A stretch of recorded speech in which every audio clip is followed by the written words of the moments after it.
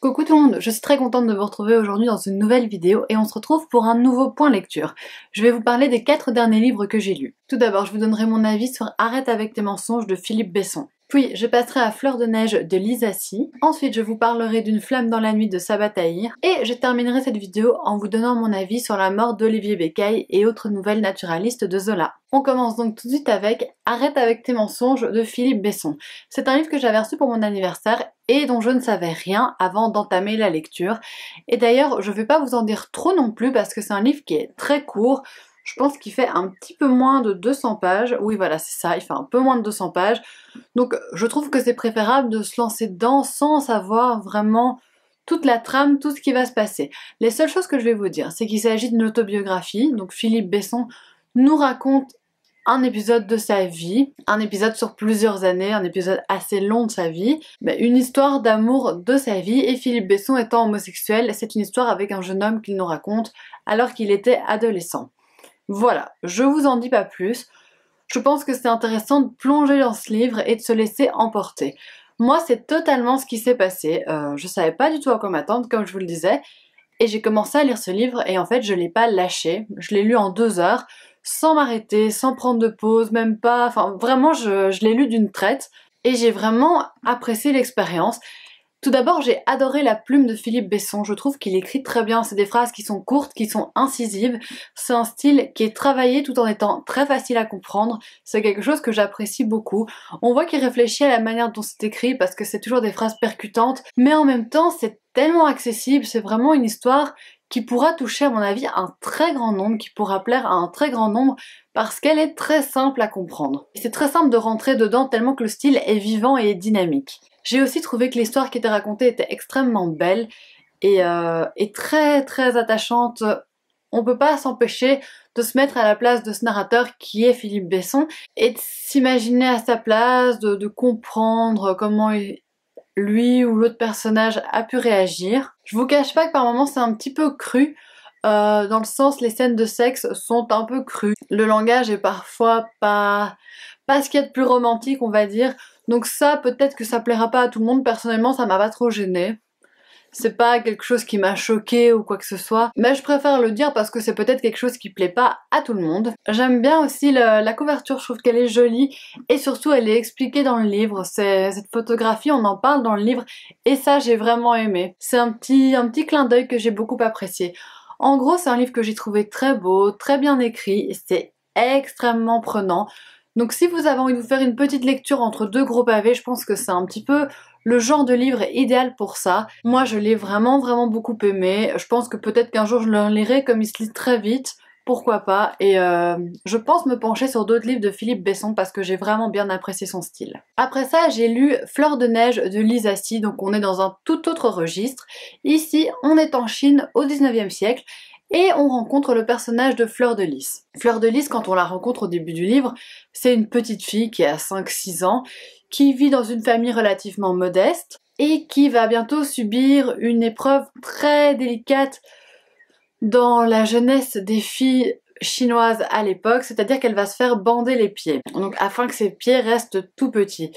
C'est assez dur comme euh, comme épisode de la lecture. On est extrêmement choqué par ce qui peut se passer. Mais j'ai pas envie de nouveau de vous en dire trop parce que je trouve que vraiment ce qui est choquant dans ce livre se trouve plutôt au début.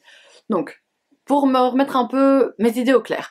Donc on suit Fleur de Lys, qui est donc cette jeune fille de famille modeste, qui va en fait être Lao Tong avec Fleur de Neige, la Otang, qu'est-ce que ça signifie? C'est un lien très spécial qui unit deux jeunes filles qui ont tout un tas de points communs. Par exemple, elles sont nées le même jour, elles ont commencé le bandage de leurs pieds en même temps, euh, elles sont nées la même année, euh, elles ont la même place dans la famille, etc. etc. C'est tout un tas de facteurs qui vont se regrouper et qui vont faire qu'elles sont la Otang. Et donc elle est la Otang avec Fleur de Neige, et ça c'est un lien qui est extrêmement fort. C'est même un lien qui est plus fort qu'entre mari et femme. Et on va vraiment suivre la vie de fleurs de lys et de fleurs de neige durant toute leur existence. Donc on va vraiment voir les étapes de la vie d'une femme chinoise à cette époque-là. Et mon dieu, c'est pas de tout repos. Comme je vous le disais, c'est plutôt le début du livre qui est très marquant, très choquant. quand j'ai commencé à lire ce livre, je me disais vraiment, mais oh, quelle horreur à chaque page. Je m'en remettais pas dès que je lisais quelque chose. Je disais, mais c'est pas possible, mais ils font pas ça. Quoi Pourquoi Et pourquoi elle réagit comme ça J'étais totalement choquée par ma lecture de ce livre, on va dire les 80 premières pages plus ou moins. Après, on va pas dire que leurs conditions s'améliorent considérablement, mais mon choc, ma surprise est un petit peu tassée. D'ailleurs, je trouve que le début du livre est mieux que la, la suite. Parce qu'à la fin, je trouvais ça un petit peu répétitif. En fait, il y a vraiment un épisode vers la fin du livre qui m'a un peu moins plu et qui prend pas mal de pages. Je vais pas vous dire de quoi il s'agit pour pas vous spoiler, mais c'est un moment juste où Fleur de Lys est isolée du reste de sa famille. Peut-être que ceux qui ont lu le livre savent de quoi je parle, mais ça c'est un épisode qui m'a un petit peu moins plu, que j'ai trouvé un petit peu longuet. Mais si vous voulez en apprendre beaucoup, beaucoup sur la Chine euh, du 19e siècle, mais déjà la culture chinoise c'est une culture que je connais pas spécialement. Donc la culture chinoise du 19e siècle, vous pensez bien que c'est pas ce que je connais le mieux. Mais ce que vraiment ce que je retiens de cette lecture, c'est bon sang, mais quelle horreur. Quelle horreur. Qu'est-ce que la femme a quand même pu traverser euh, au fur et à mesure de l'histoire? Je sais que c'est quelque chose qu'on sait, mais quand on lit des histoires pareilles, on se dit mais quelle chance est-ce qu'on a eu d'être né au 21e siècle en Europe? Mon sang, euh, j'aurais pas tellement aimé avoir le destin de Fleur de Lys et de Fleur de Neige, très clairement. Mais vraiment, c'est un livre instructif. On apprend beaucoup de choses. Beaucoup de choses nous sont expliquées. C'est parfois assez lent, parfois assez calme. Mais vraiment, on se met à la place de ces femmes, on comprend ce qu'elles vivent, on suit ce qu'elles vivent, on constate ce que c'est leur vie au quotidien et ça c'est très intéressant. Après ça je me suis penchée sur Une flamme dans la nuit de Sabat je l'avais également reçu pour mon anniversaire. C'est donc le deuxième tome d'une braise sous la cendre. Je vous ai parlé d'une braise sous la cendre au mois de février, je pense, février ou mars. En tout cas, je l'avais lu en février et j'avais vraiment adoré ma lecture. J'étais donc très très contente de recevoir ce deuxième tome qui nous replonge directement où le premier tome nous avait laissé. Ça, c'est un petit point particulier. On n'a pas du tout de petites piqûres de rappel de ce qui se passait dans le premier tome. Heureusement, moi, j'avais fait un résumé assez complet de ce qui s'était passé dans le premier tome. Du coup, je l'ai lu avant de lire ce livre et heureusement que je l'ai fait parce que même si je l'ai lu il y a quelques mois, il y avait des mini détails qui m'avaient un petit peu échappé et je trouve qu'on reprend directement où on en était. Du coup, euh, si on n'a pas l'histoire bien en tête, ça peut être un petit peu difficile de se repérer parmi tout ça. Je vous fais un bref résumé de ce qui se passait dans le premier tome pour pas vous spoiler le deuxième si vous avez jamais lu le premier. On est donc dans un monde euh, qui est divisé en castes. Il y a la caste des érudits et la caste des martiaux. Et les martiaux dominent les érudits. Les érudits euh, n'ont aucune liberté, n'ont pas le droit de lire, d'écrire. Et on suit deux personnages, Laïa qui est érudite et Elias qui est un martial et on va toujours les suivre en alternance. Dans ce deuxième tome, on suit toujours les points de vue de Laïa et d'Elias et on suit également le point de vue d'un troisième personnage qui est Hélène, une amie martiale d'Elias dans le premier tome. Et j'ai trouvé ça super intéressant d'avoir ce troisième point de vue parce que, comment dire tout ça sans spoiler? Tout simplement parce que ça apporte un, éclairage différent. Dans ce deuxième tome-ci, on va vraiment creuser l'univers, on va vraiment mieux comprendre comment il est construit parce que dans le premier tome, on reste vraiment au même endroit, tandis qu'ici, on bouge beaucoup plus, on a beaucoup plus à faire à différentes sortes de personnes.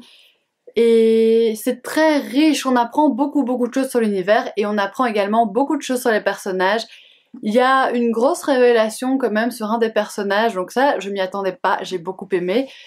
Et j'ai trouvé que c'était toujours aussi addictif que le premier tome. C'est-à-dire que Sabataïr a le don de faire naître le suspense tout le temps en fin de chapitre. Donc chaque fois quasiment euh, les chapitres se terminent sur une note qui fait qu'on veut absolument continuer et qu'on se dit c'est pas vrai, il faut que je lise le chapitre suivant.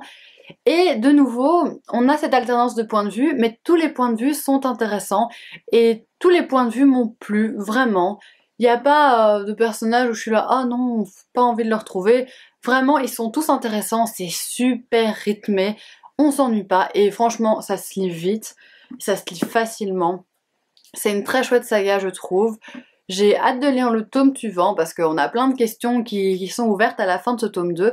Donc si vous connaissez pas la saga, honnêtement, je vous la conseille parce que je la trouve vraiment très très bien. Et enfin, j'ai lu euh, un recueil de nouvelles. Il s'agit de La mort d'Olivier Bécaille et autres nouvelles naturalistes de Zola. Il y a donc quatre nouvelles dans ce livre. On a donc La mort d'Olivier Bécaille, Nantas, L'inondation et Les coquillages de Monsieur Chabre. C'est des nouvelles qui sont vraiment pas longues, 30-40 pages chacune, et qui sont vraiment très accessible. Si vous n'avez jamais découvert le style, la plume de Zola, eh ben je trouve que c'est une bonne introduction parce qu'on retrouve des thèmes qui lui sont chers. Il décrit vraiment les castes de la société, que ce soit les pauvres, que ce soit les riches, que ce soit les pauvres qui veulent se hisser dans la société, de manière très complète, très euh, très analysée en fait, et je trouve que c'est très intéressant. Franchement, ces quatre nouvelles qui se lisent facilement, avec un vocabulaire qui est accessible. Si le classique vous fait peur mais que vous voulez découvrir Zola, commencez clairement par ça parce que je trouve que ça se lit mais super facilement, honnêtement. Les histoires sont toutes plutôt bien. Il y en a deux pour lesquelles j'ai été déçue de la fin un petit peu. Mais c'est les deux premières, c'est la mort d'Olivier Bécaille et Nantas. Surtout Nantas, j'ai trouvé la fin un peu... un peu bof. J'ai beaucoup aimé la dernière nouvelle, Les coquillages de Monsieur Chabre. J'ai trouvé que c'était une nouvelle vraiment pas mal. Dans l'ensemble, toutes les nouvelles étaient bien. Il y a donc juste la fin de Nantas qui m'a un petit peu déçue. Je trouve que c'est des nouvelles qui sont intéressantes et qui sont différentes les unes des autres. Donc chaque fois on plonge dans un nouveau monde, dans un nouveau cadre, même si Paris est extrêmement présent comme toujours chez Zola. Et franchement... Euh, c'est un peu le problème avec les nouvelles, c'est que c'est toujours un peu trop court, on aimerait plus d'informations sur les personnages, on aimerait aller un peu plus loin, mais je trouve que c'est très efficace et euh, c'est un petit recueil qui se dévore et que je vous conseille vraiment. Et c'est tout pour cette vidéo, j'espère vraiment qu'elle aura pu vous plaire. Dites-moi dans les commentaires si vous connaissez un des livres ou plusieurs livres parmi ceux que j'ai présentés et ce que vous en avez pensé ou si un de ces livres vous tente tout simplement. On se retrouve la semaine prochaine dans une nouvelle vidéo. Gros bisous